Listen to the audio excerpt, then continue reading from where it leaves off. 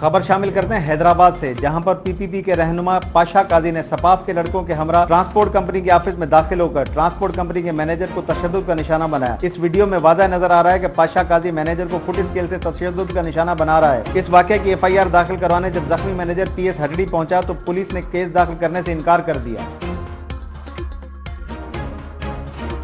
मजीद खबरों और अपडेट्स के लिए देखते रहिए हमारा YouTube channel H R news.